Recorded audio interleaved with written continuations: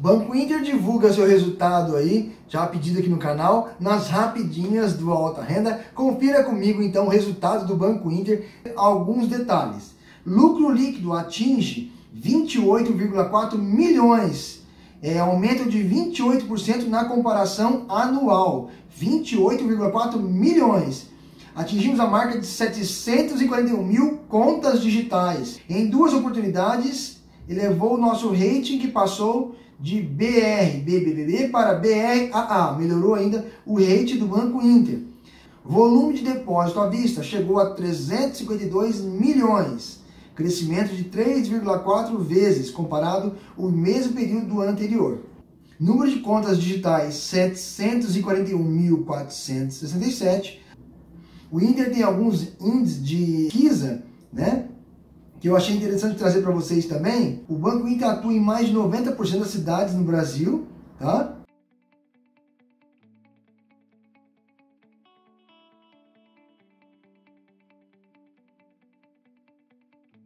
Pesquisa NPS, né?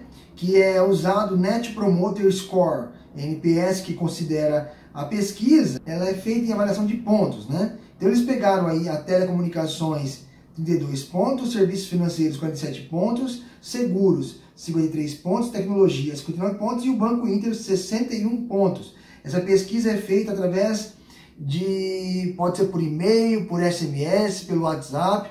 Alguns clientes responderam a pesquisa e deu essas notas aí, que é o NPS. Aí não vou entrar em detalhe, mas é, sobre, é, é feita uma análise de promotor, é, detrator e neutro.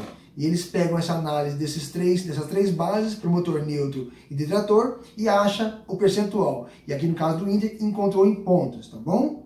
Custo de cada cliente chegou a R$ 20,30 para o Banco Inter, então cada um de nós custa para o banco R$ 20,30, tá? Tem, se eu não me engano, bancos físicos chega a 90 reais o custo de um cliente, tá? Então manter uma agência física, cafezinho, bolachinha, mimos para o cliente uma agência física, chega, se eu não me engano, eu me lembro no personalité que a gente falou que custava 90 reais por cliente naquela agência que eu estava. E esse link eu vou deixar para vocês aqui embaixo do vídeo, aí vocês vão poder ter acesso às informações completas do resultado do Banco Inter aqui no nosso vídeo nas rapidinhas do Alta Renda.